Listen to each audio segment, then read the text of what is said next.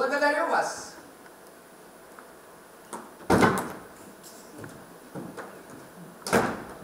Его тоже следует заменить. Вы так не считаете? В Щелковском театре отметили главный праздник для актеров – Всемирный день театра. Зрителям показали спектакль «Он, она, окно и», который в репертуаре у театра более двух лет и уже успел полюбиться многим жителям округа. Это комедия в двух действиях, рассказывающая о депутате, решившем устроить романтический вечер в люксовом номере гостиницы вместе со своей молодой секретаршей.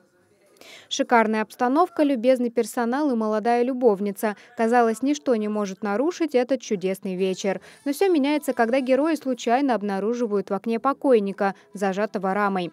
Как быть в такой щепетильной ситуации и выйти сухими из воды? Герои на глазах у публики решают действительно очень комично. Спектакль заставляет зрителей смеяться и сопереживать одновременно. Все это происходит не только благодаря закрученному сюжету, но и, конечно, профессионализму актеров Щелковской труппы. Я всегда говорю, в театр идет необыкновенный зритель, который, придя, наверное, задает себе вопрос, о чем-то подумать, пофилософствовать и получить-то какие-то вопросы, ответы. И я думаю, что театральная труппа и наши режиссеры справляются с этой задачей.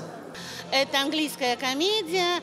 А, эта пьеса идет в других театрах Москвы, например, в Амхате. Она называется «Номер 13». И у нас существует такая история, э, когда мы поставили этот спектакль, к нам пошли зрители, и было каждый раз было все продано, и вдруг мы читаем в нашей книге отзывов. Э, есть чем сравнить. Были в Москве на этой пьесе, на спектакле по этой пьесе. У вас лучше также в Щелковском театре скоро состоится премьера спектакля «Женитьба». Это комедия, поставленная по всем известному произведению Николая Гоголя.